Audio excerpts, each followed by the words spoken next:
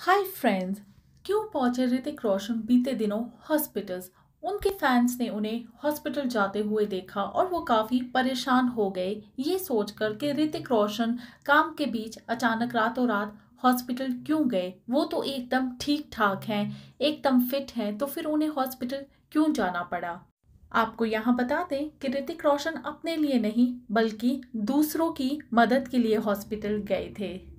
दरअसल, ऋतिक रोशन मुंबई के एक हॉस्पिटल में अपना खून डोनेट करने गए थे। ऋतिक का ब्लड ग्रुप काफ़ी रेयर है और इस ग्रुप का ब्लड मिलना बहुत मुश्किल होता है। उनके फैंस परेशान ना हो, इसीलिए ऋतिक रोशन ने अपने सोशल मीडिया पर अपनी एक फ़ोटो शेयर की है और बताया है कि मुझे पता चला है, मेरा ब्लड ग्रुप बी नेगेटिव काफ़ी रेयर है और अक्सर हॉस्पिटल्स में इसकी शॉर्टेज हो जाती है। बहुत ही महत्वपूर्ण ब्लड बैंक में अपना छोटा सा योगदान देने की प्रतिज्ञा ली है। ये वजह है कि ऋतिक रोशन खुद को रोक नहीं पाए, लोगों की मदद करने से, और वो तुरंत हॉस्पिटल पहुँचे अपना खून डोनेट करने के लिए।